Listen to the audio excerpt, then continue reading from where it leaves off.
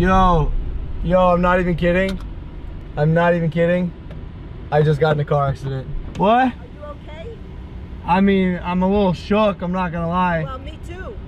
You know you you hit me pretty hard right there. Well, you hit me too, sir. We're- We're in the middle lane. I was turning left.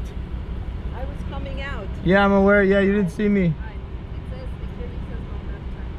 It says no left turn, ma'am. right, then it's my bad. Yeah. Yo, my my my forehead smacked the window. Is it Oh red at all? God. Yo, I, I can't get out. We need to get out.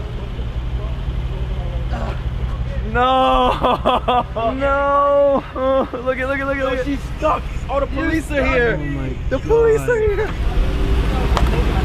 Hold on one sec. I think you're caught in my wheel. I think you maybe Yo, maybe at- you gotta back up. Stop, stop, stop, stop, stop, stop, stop. I'm maintaining my calm because like life life is too short to get angry over material objects.